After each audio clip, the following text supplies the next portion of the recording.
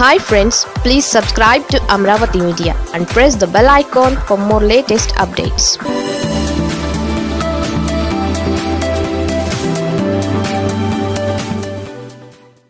పవన్ను ఆ ముద్ర వదలదా?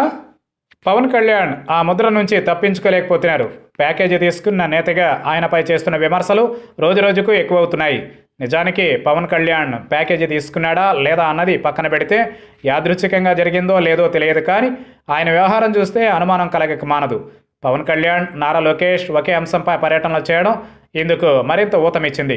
విమర్శలకు మరింత తావిచ్చింది. రైతు సమస్యలపై పవన్ కళ్యాణ్ మచిలీపట్నం పర్యటన చేపట్టారు. నివర్ తుపాను బాధితులకు నష్టపరిహారం చెల్లించాలన్నది ఆయన ప్రధాన డిమాండ్. కానీ నివర్ తుపాను వచ్చిన సందర్భంలోనే ముఖ్యమంత్రి జగన్ డిసెంబర్ ముప్పై ఒకటో తేదీలోగా నష్టపోయిన రైతులకు పరిహారం చెల్లించాలని అధికారులను ఆదేశించారు. అసెంబ్లీలో కూడా జగన్ ఇదే విషయాన్ని చెప్పారు. కానీ నష్టపరిహారం చెల్లించడానికి ఒకరోజు ముందు పవన్ కళ్యాణ్ మచిలీపట్నం వచ్చి కలెక్టర్కు వినతిపత్రం అందించడం చర్చనీయాంశమైంది. ఇక రైతు సమస్యల కోసం వచ్చిన పవన్ కళ్యాణ్ను ప్యాకేజీ తీసుకునే వచ్చారని ముఖ్యమంత్రి జగన్ దగ్గర నుంచి మంత్రుల వరకు అందరూ విమర్శించారు. పవన్ కళ్యాణ్ పర్యటన కాకతాళీయంగా జరిగినప్పటికీ ఆయన ఆ ప్యాకేజీ ముద్రను వైసీపీ నేతలు బలంగా వేస్తారు.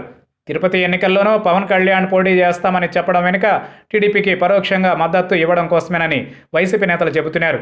తిరుపతిలో టీడీపీ సెకండ్ ప్లేస్లో ఉండాలన్నది పవన్ కోరికంటున్నారు పవన్ కళ్యాణ్ టీడీపీ నుంచి విడిపోయి టీడీపీతో పొత్తు పెట్టుకున్నప్పటికీ ఆయనపై తెలుగుదేశం పార్టీ అనుకూల ముద్ర మాత్రం చెరిగిపోలేదు.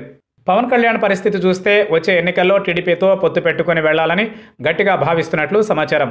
అయితే అందుకు ఇంకా సమయం ఉందని పవన్ కళ్యాణ్ ప్రస్తుతానికి బీజేపీతోనే కలిసి వెళ్ళే ఆలోచనలో ఉన్నారని జనసేన పార్టీ నేత ఒకరు చెప్పారు.